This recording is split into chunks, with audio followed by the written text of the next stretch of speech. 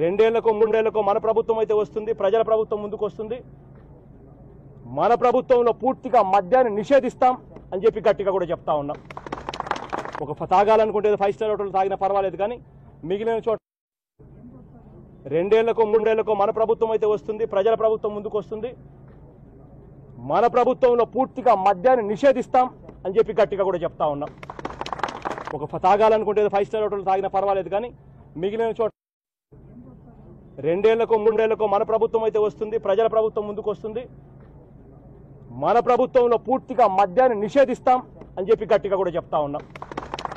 ఒక తాగాలనుకుంటే five star hotel తాగినా పర్వాలేదు కానీ మిగిలిన చోట